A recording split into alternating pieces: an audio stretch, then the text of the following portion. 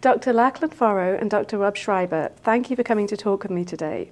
Between you and individually, you have decades of experience caring for people with serious illness, mm-hmm. and many of them are elderly. Now, many of us, before we become seriously ill or elderly ourselves, have the experience of caring for a parent or other loved one who is um, experiencing that. And that brings up a lot of challenges and questions. My own father is 90 years old. He has some serious health issues and he's not doing so well. And of course, I want him to have the best care possible, but I'm realizing that I don't really know what that means given his age and his health issues. So, can you help me figure out how to approach that with him and his doctor and how I should start thinking about it? Dr. Schreiber. Yes, well, first, thanks for the opportunity of having this discussion because I think it's really important. Something that we all um, need to reflect on, and I think this is an opportunity to really talk about an issue that impacts us all. The issue that you're facing with your dad is one that I think uh, many of us face, and I face personally. And when we talk about somebody who's not doing well, who's older, who has serious illness, it's really important to understand what is their goal? What do they want?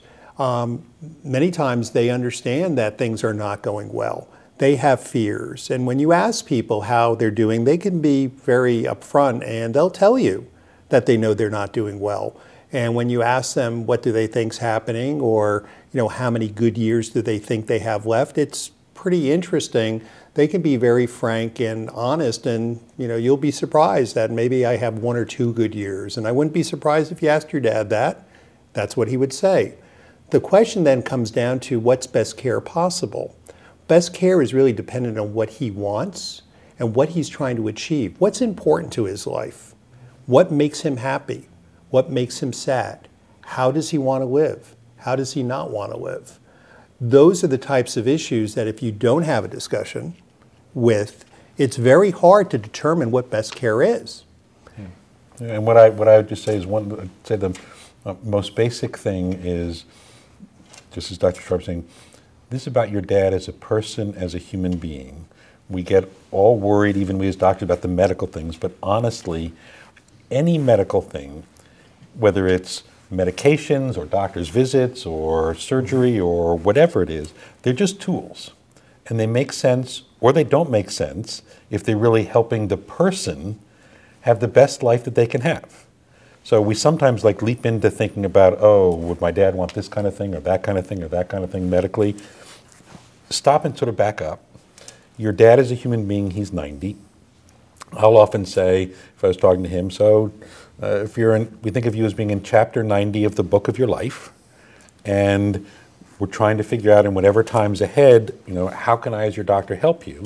Uh, most important thing is you as a person, as you're looking ahead, what do you most hope for in whatever pages or chapters there might be? What do you hope for? What would, what would make those as good as possible? And then if I can get some sense of that, then I'll add a second question, which is not as much fun, but it's just as important. When you look ahead at whatever pages or chapters there might be, what do you worry about? What do you maybe never want to go through? Because we need to make sure that all the medical things make sense for you as a person. They get you the most possible of all the things you hope for. And anything you worry about, you never want to go through, we need to make sure either that's never going to happen or we have a plan if it ever does. But, but it's got to start and end with your dad as a person, as a human being. I mean, I've heard a lot of stories from people whose parents and loved ones you know, died in the hospital, they were in pain, they weren't really fully conscious. It's not really how they wanted their illness to go, even recognizing themselves that they were seriously ill. I don't think it worked out the way that mm-hmm. they would have wanted. But one of the facts, and like we're Americans, Americans don't like to talk about this, that everybody knows is true for every single one of us is we're mortal. But Americans don't like to talk about that. And then if we've never talked about, like with your dad, um, about what's important to him between now and the end, but this really isn't primarily about dying. It's mm-hmm. about between now and that future time, how can your life be as good as it's possible to be? And then a part of that is, and if we ever got to, if it looked like we're in the last pages, you know, the last part, Um, does your dad have thoughts about what he would want that to be? Some people don't. They just want it to be as far in the future as possible. But there are other people who, what they've really thought about is if my time ever comes, I don't want to be in a hospital on machines. I want to be home. I want to be comfortable. I want family around. Well, unless we plan for that, at least in the United States, if there's some problem, someone's going to call 911, you're going to be in the hospital. It's not going to be that way. Okay. But having said that, but having said that, some people are the opposite. Um, they're not thinking about being peaceful, quiet at home. They want to go down fighting. If, if they can eke out any extra time, they'll put up with all kinds of things. There's actually three things that you bring up. One is longevity. How long do people want to live? How do they want to live? The quality of life. And then how much pain and suffering do they want to go through? And so when you talk about a situation where your dad may be ending towards, you know, getting, getting on and have limited number of years left because he has advanced illness, what's more important at that point? The other thing is that was brought up, and when you have somebody who's ill, what is the expectation when you go into the hospital? How likely are you to have a recovery? And what does recovery mean? Does recovery mean that you're going to end up alive but living in the nursing home the rest of your life? Is that an acceptable recovery if you decide to go for treatment or surgery? Or is it likely that you're going to end up suffering for several months and maybe dying, which is very common in the older population at the end of life? We spend 50% of the healthcare dollar for Medicare in the United States in the last year of life. And it's not the type of life that Lachlan's bringing up in terms of what we want to try to achieve for, you know, your dad. So having those discussions of really understanding what is likely to happen, how they want to live, you know, what a good life is about. Then when we get to the point where the options are one, where longevity is not going to be there, where they're probably going to suffer and they're not going to have quality, we can then talk about how do you want to live those remaining days of your life. What's important to you? What do you want to do? Who do you want to connect with? Who's important to see? What is the type of um, messages and experiences you want to leave to those you care about? And, and, and one of the things, and it's just, um, it's just striking, but it's human. Um, every one of us knows we're mortal every one of us knows everyone we care about is mortal. This is, that fact is the yes. only thing in healthcare, maybe the only thing in life that we all know with 100% certainty is going to come up. Right? Number one. All of us. It yep. affects all of us. Yep. Number two, we really, really care how it goes. When it goes badly, you know, the last part of my mom or my dad's or a loved one's life when it goes badly, it's not just bad for the patient, for that person, everyone who cared about that person, loved that person for the rest of their life is either angry or scarred or guilty or when it goes badly. But when it goes well, and we're talking about the last pages, right? There's time before that. When it goes well, mm-hmm. people are sad when they've lost someone they care about, but over and over, when they have the right kind of support, they look back and yes, it was sad, but that was some of the most meaningful time our family ever had. Right? So it's really, really important to get this right in human terms. Um, but there's no chance of that if we don't, all of us, mm-hmm. get better at talking about it. And I, and I can promise you, not 100%, I can promise you, your dad has thought about these things. Now, I'm a guy, I can say maybe a guy, he may not want to talk about it to other people. I can promise you he's thought mm-hmm. about these things. So the question is, and actually worries about these things. So the question is, and it, it may be you, the best person, it may not be you. It may be mm-hmm. helping make sure that you know he's got the right kind of doctor who has real skill in getting your dad to talk about these things. But unless your dad has said things to people, nobody can know how to really make the time ahead the way he would want. So I'm realizing that we need to have those conversations. I'm not entirely confident that I know how to do that. Is there somewhere I can go that, that will sort of teach me how to do this or give me some some prompts, give me some advice on how I can raise this, both with him Well, and one, with one, our of, one, family? one, of, one of the, I think, most important, still relatively uh, new resources is an initiative called the Conversation Project. Um, Conversation Project was uh, uh, catalyzed by uh, Ellen Goodman, a longtime Boston Globe Pulitzer Prize winning, col- uh, winning columnist, because she one day, when she was an active columnist working on Deadline, gets a call from the nursing facility where her mom was with advanced dementia. And they say, Oh, are you Ellen? Are you the daughter? Yes. And said, um, We think your mom may have pneumonia. Do you want us to start antibiotics?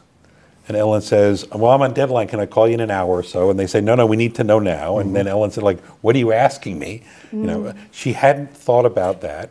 Um, she said, You know, back before the dementia, I thought my mom and I had talked about all of this because my mom had said, "Oh, if I'm ever like that, pull the plug." Mm-hmm. But there was no plug. We actually hadn't talked about this in any way that was helpful. So Ellen, talking to other people and finding almost everyone she knew had some similar experience, said, "We need to find a way to talk about this," and started this organization, wonderful organization called the Conversation Project which with lots of work with patients and families now has something called the Conversation Starter Kit. So you can go to the website, conversationproject.org, download the Conversation Starter Kit. My family has used this. I mean, I'm supposed to be an expert about this, but there's just something really nice about a user friendly, concrete thing to look through, write down, jot down answers, and talk. So that's one resource that I think anybody watching this uh, and people they know would find very helpful. Just to add to um, what was stated, um, they have actual videos of people having that conversation and how to start the conversation.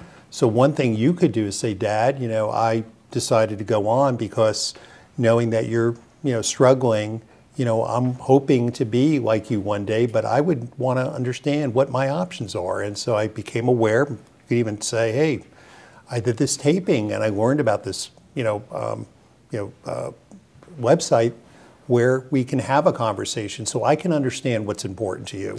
And I'd like to sit with you and go through this with you. And so doing it together oftentimes opens up that door so that it's a starter. Doesn't mean you have to go through the whole thing. Um, but I think, you know, before even doing that, you may just want to have a conversation with dad and say, Dad, you know, just tell me, you know, how are you really doing? What are you worried about? I think we brought that up before. What's important to you? I'm also interested in this idea of the healthcare proxy. Can you explain more about how, what that means and how it works and how that could help my father get what he wants? So it's important that everybody have a healthcare proxy and not just older people, but anybody over the age of 18. Anybody who's a legal adult by definition needs, at least in Massachusetts, to have a healthcare proxy. So and that what, in the and what- event. and what is a healthcare proxy for And, people who may not know? and so what that is is a document where you basically appoint someone to be your decision maker along healthcare matters in the event that you are unable or incapacitated to make decisions for yourself regarding healthcare decisions. And so without that, without appointing someone eh, over 18, if there is disagreement in your family, then there could be strife, and you may not have somebody, one, that's speaking for you. You could have different voices and be put in a situation where you're having things done to you and for you that may not be what you want. Right. And so as a result, it can become, you know, very, very challenging. So it's really important that people not only appoint somebody who can do this substitute judgment legally, and by the way, you don't need to see an attorney. There's forms you can download from you know the web if in Massachusetts and get it signed, so that's your official form. But it's also important to have that discussion about Right. in the situation if I was seriously ill, the types of treatments you know you would or would not want to have. Now, normally most people our age or younger or even older, you know, who are in good health would probably want to have everything done, you know, full treatment. But Your dad, who's at the end of his life, relatively speaking, you know, in the 90th chapter, you know, that's a different situation. Mm-hmm. They may not want, and usually do mm-hmm. not want everything done. They've lived a full life. They want to make those remaining days, months, years meaningful and one that is filled with quality and joy, not pain and suffering. So it needs to be available, you know, when it's needed, which means his doctor should have a copy. Um, if if you're the person who's his healthcare proxy, then you should have a copy. But sometimes the best person to be someone's healthcare proxy is actually not the closest family member. It can be a friend or somebody, sometimes even someone with a little bit more emotional distance, because um, some people say, like, I know my wife or my daughter could never do X, Y, or Z, say X, Y, or Z, and I don't want her to worry about that. But you need to have somebody who is prepared to be your voice if you can't speak for yourself, or else you may not be taken care of the way you want.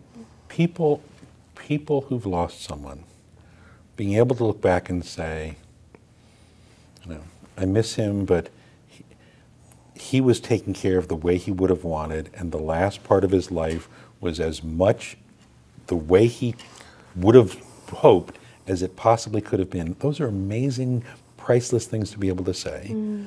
And that's the payoff of having these conversations. Mm. right? I had a patient by the name of Betty who was on dialysis and had finally decided no more. She had been suffering, struggling, and her daughter and her son were really couldn't accept it. But she had made the decision, we supported it, and she ended up going to a nursing home to basically die. Those last seven days were the best days of her life in the last eight years of her life to the point she got to see everybody. People from all over the country came to visit her. She was literally the queen on a throne. There was a sign in book. There were parties. She had lobster. She, all the things she wanted to do, she did not have pain. She was off of pain medicines.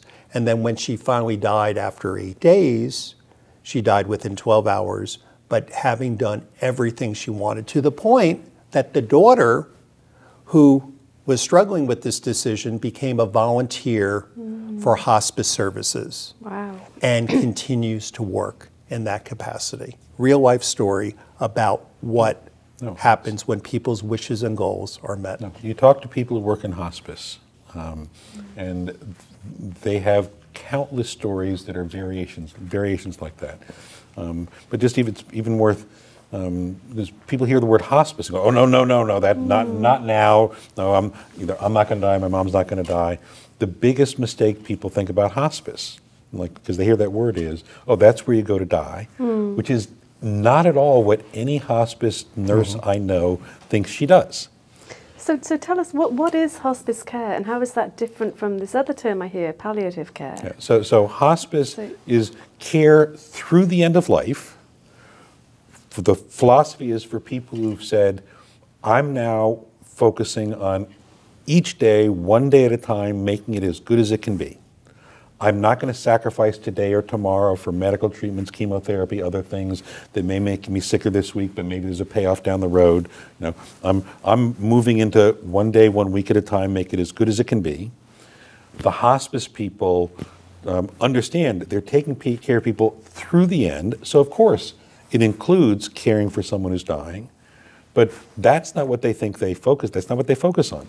They focus on living Right. as fully as possible in this last phase, and they have countless stories of reconciling family members. Somebody's joined hospice. It's it's a difficult um, adjustment initially for some family members, going, "Oh my God, mom, no, no, no, you need to have more chemotherapy, whatever." But the hospice people have enormous skill in helping people really understand this is what mom wants, and then the kicker.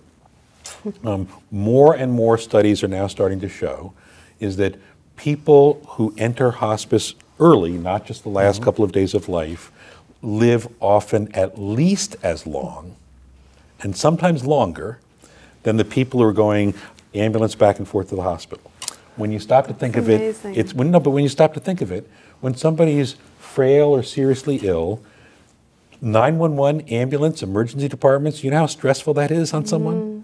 And when someone has the support at home and their days are as good as they can be, their will to live is stronger, like, then I want to say, well, like, of course they're going to live at least as long that way. One of the, um, one of the other common mistakes, and even doctors often ask this, is you know, to be a mistake asking your dad, uh, uh, so what's important to you, length of life or quality of life? right? People say that. And, and there's a way in which it makes sense. There is a way in which it makes sense. But honestly, they usually are not alternatives, they usually go together.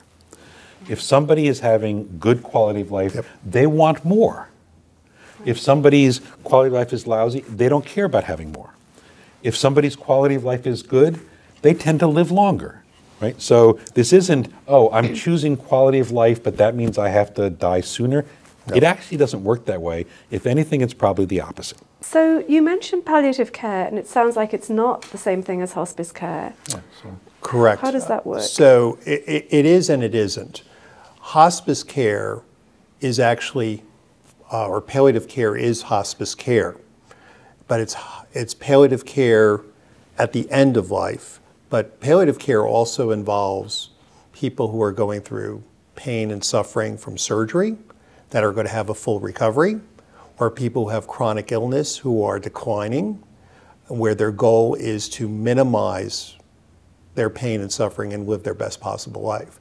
It's palliative care is a discipline. It's actually a medical specialty, but in fact, internists, geriatricians such as myself, and surgeons, we all do palliative care with the goal of trying to improve people's quality of life, but at the same time giving them the best outcome possible.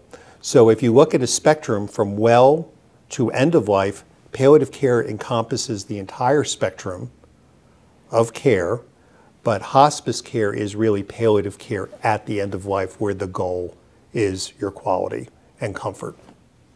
Okay, thank you.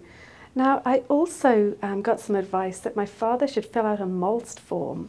What Yeah. what does that mean? Is that Right. different So, from so, the, so the, the MOLST form, and MOLST is one of these god awful acronyms. M O L S T, Medical Orders for Life Sustaining Treatment. Right?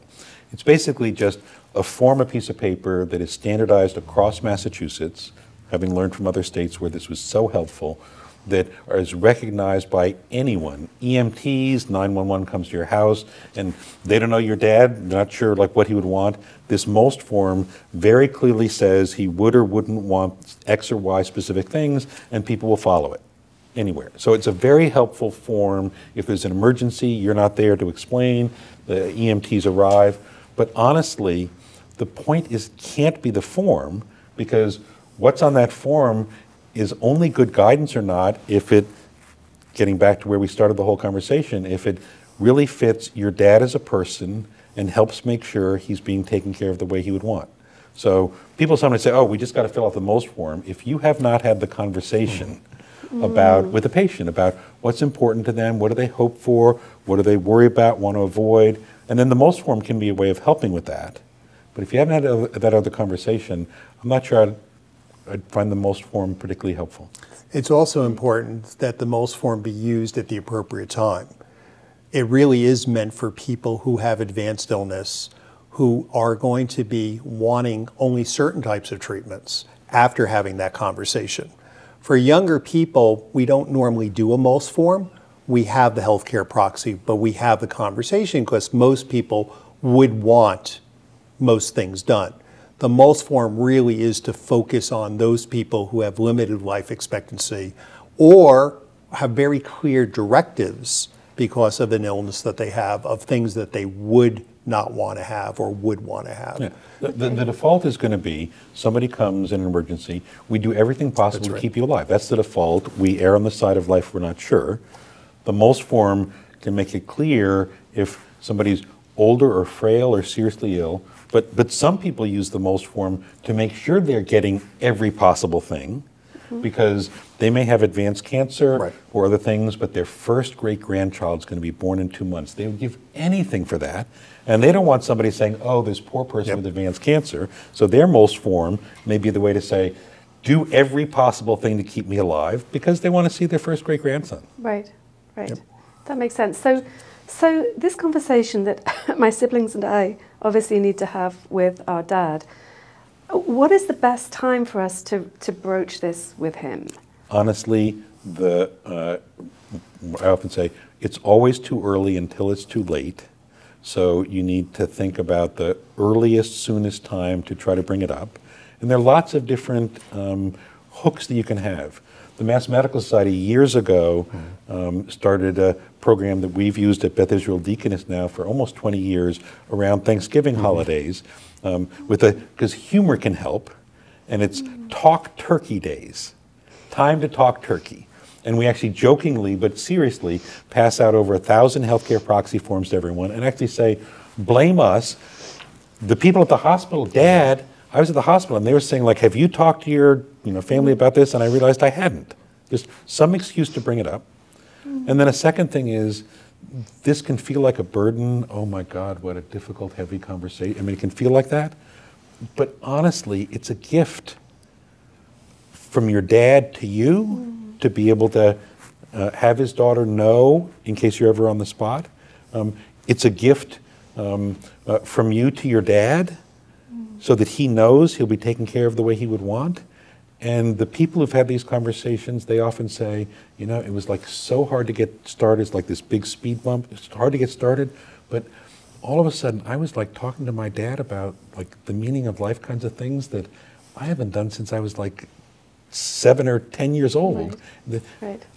we talked about things Right. that weren't just about the medical things. So it's hard to get started, but I would say the first, soonest opportunity you can think, try. When you're all together.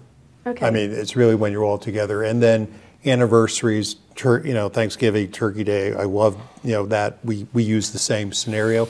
But, you know, Thanksgiving's quite a while away. So you may Don't wait not be long. able to have that conversation. So don't wait, but have everybody together. And, you know, it's interesting, again, having those conversations. I had a son who was um, serving in the military and was going to Okinawa and was going to be going to active duty. We had to have that discussion. So, two days before he was leaving, we sat down over breakfast and we had the talk about what happens. An- another hook, and again, it's blending humor, but is, is um, every year starting April 16th, used to be National Healthcare Decisions Day. Now it starts April 16th, National Healthcare Decisions Week. Have these conversations. Why April 16th? Because April 15th is tax day, and death and taxes are the two inevitable things. And so the idea is okay, yesterday you did the taxes, but there is one other thing that's inevitable.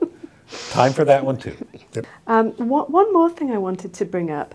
I have a friend who is going through this with her mother, who is 85. She's a person of colour. She has always been nervous about trusting the medical profession for historical reasons, I think.